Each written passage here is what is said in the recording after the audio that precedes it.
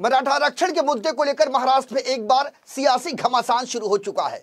और इसी कड़ी में मुंबई से सटे नवी मुंबई इलाके में मराठा आरक्षण के मामले को लेकर मराठा क्रांति मोर्चा की तरफ़ से आंदोलन किया गया।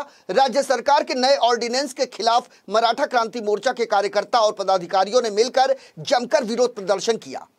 वाशी के शिवाजी महाराज चौक पर मराठा क्रांति मोर्चा के कार्यकर्ताओं ने महाराष्ट्र की महाविकास अघाड़ी सरकार के खिलाफ अपनी आवाज़ बुलंद की और सूबे के मुखिया उद्धव ठाकरे के खिलाफ जमकर नारेबाजी की।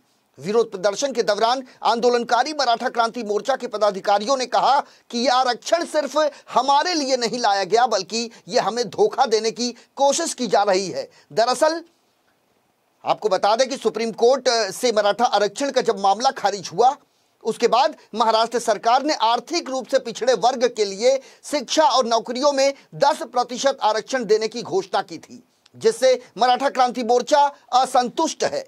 इसलिए मराठा क्रांति मोर्चा के समन्वयक अंकुश कदम के नेतृत्व में बड़े पैमाने पर वासी में आंदोलन किया गया, जिसकी तस्वीरें टीवी स्क्रीन पर आपके सामने है।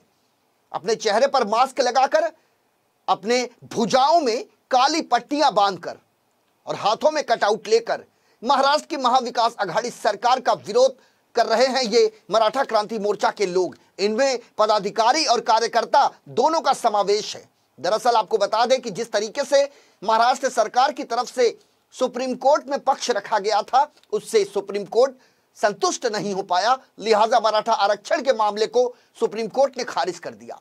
सुप्रीम कोर्ट के फैसले के बाद महाराष्ट्र की सियासत लगातार उबाल मारने लगी है।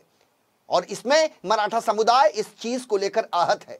भारतीय जनता पार्टी महाराष्ट्र की महाविकास आघाड़ी सरकार पर जवाबदारी थोप रही है।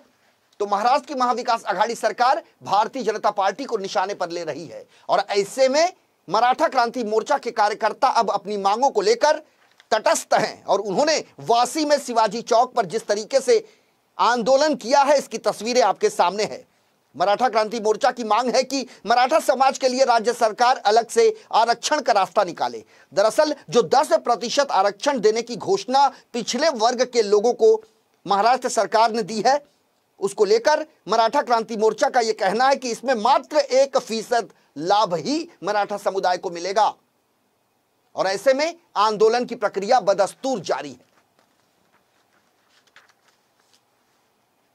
आज जिस प्रकार 28 तारीख को छत्रपति संभाजी राजे, इन्होंने मराठा समाज के आरक्षण के इस विषय में जितनी भी हमारी मांगे हैं, उनको 6 तारीख के आगे नहीं मान्य किया।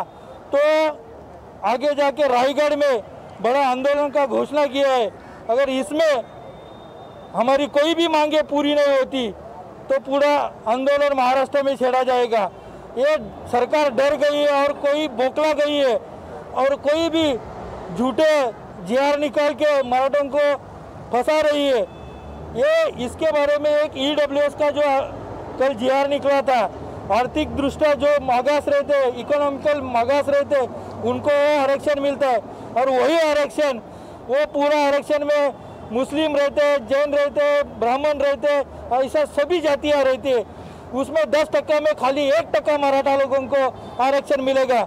लेकिन ये सरकार ऐसी बड़ी उलगना कर रहे है, घोषणा कर रहे है कि दस टका मराठों को आरक्षण दिया।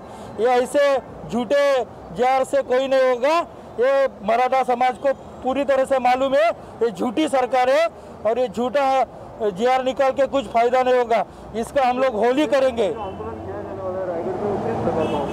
रायगढ़ में पूरी तरह से अगर ये सरकार को अल्टीमेट किया है, छत्रपति संभाजी राजे ने, कि अगर हमारी जो सरकार के हाथ में जो मांगे